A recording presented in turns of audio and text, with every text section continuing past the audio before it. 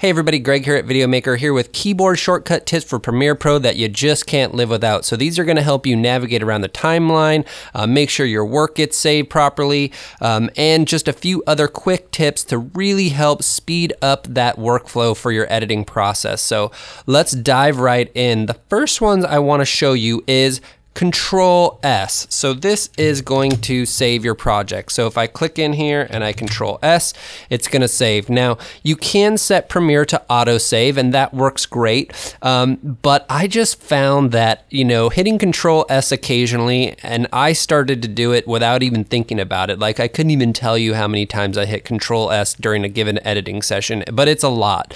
So this is just going to make sure you don't lose any work. So that's probably one of the first and foremost ones that is most important.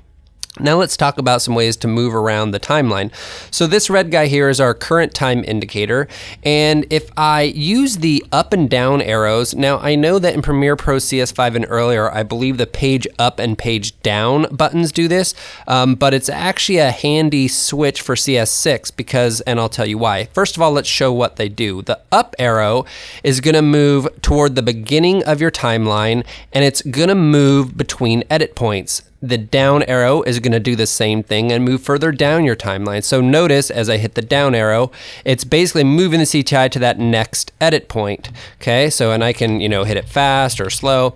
Um, one thing that's important to know with Premiere is if I deselect a couple of these layers, now when I use the up and down arrow on its own, it will actually skip past those when it's moving between edit points. So, you know, there are some reasons that you can use this, but I find more often than not that this just catches me by surprise and it's annoying me. But that is why if you hold the shift key, it will basically ignore whether those uh, layers, those video or audio layers are highlighted, and then it will move between edit points regardless of if the layer is highlighted. So holding shift basically um, is a solution there. So, um, okay, now the next one that I like to use as a companion to that one is the left and right arrows. So if you move the using the left arrow, it will move one frame at a time toward the beginning of your timeline.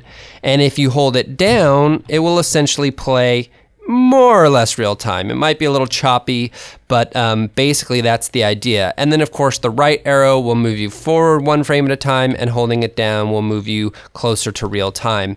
So basically, a combination of the up arrow, the down arrow, the left, and the right really allows you to move quickly through your timeline. It allows you to be real precise.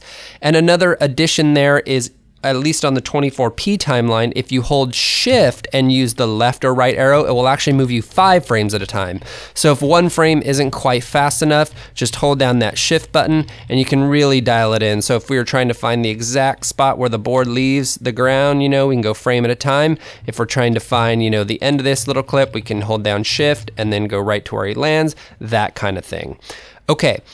The next thing I wanted to show you is how to set your work area bar. So the work area bar is useful for a couple reasons. One, it can help you preview a specific region of your uh, timeline, or it can also help you export a specific region of your timeline. So if I hit Alt and the left bracket, it will basically set the start point for my work area bar. And you can see that right here. Now you can reach in there with your mouse and grab and drag it, um, but typically you know the exact start and end point. So let's say this is my exact start point. I'll use my down arrows with the shift key. And let's say I just wanted to go to this point right here.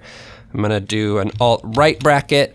And basically now this work area bar, if I hit the enter key, it will play back that portion of my timeline. And if I hit enter key again, it'll just start it right at the beginning, which is really handy. And then if I go to the export menu, uh, export only the work area bar is an option. So it's great for exporting just specific little clips.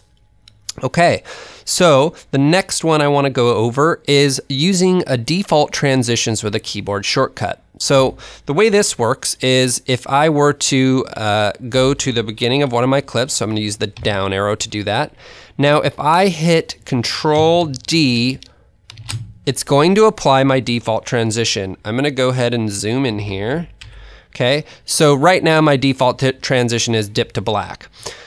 But notice that it didn't apply it to this clip, and that is because it is not highlighted. So now if I were to hit Control D again, it will apply it. And of course, with a dip to black, if I were to delete these two, bring them down onto the same timeline and hit Control D, it's going to apply it right between them, and that gives me a nice little dip to black between clips. So um, it is important to note that you can select your default transition. So let's go up here to the effects window, video transitions, and you can see right there, it's got the yellow box around it, which means that's my default transition.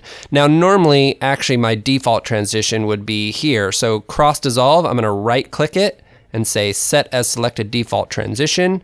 So now if I move this clip back up and I hit control D, it's gonna basically apply a fade down and a fade up. Now, of course, in this case, this isn't gonna give us a different result than the fade to black, but in many cases it would if you had overlapping clips. So, okay, now the a modified version of that default video transition is the default audio transition. So I'm going to hit the up key and let's just go ahead and delete these transitions so we can see where we're at and make sure that these are all highlighted. So I'm going to highlight audio 2.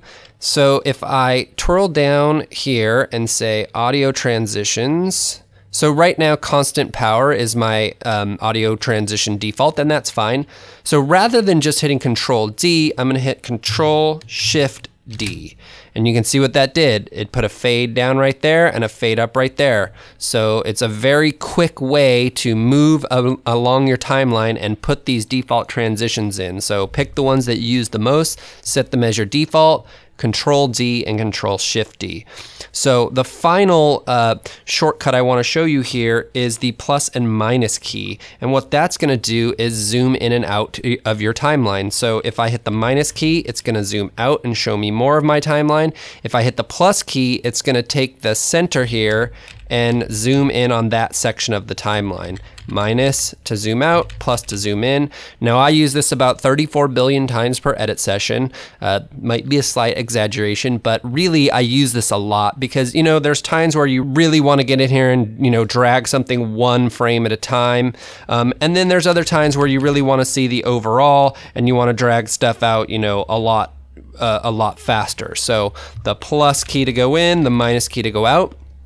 And there you have it. Those are just real simple keyboard shortcuts that you're going to use all the time. You know, these aren't ones that I break out every once in a while. These are ones I'm using all the time, you know, every minute that I'm editing. So hopefully this is helpful. And if you want to know more about how to speed up your editing process, you can read a great article called Double Your Editing Speed, and you can do that by clicking on the link.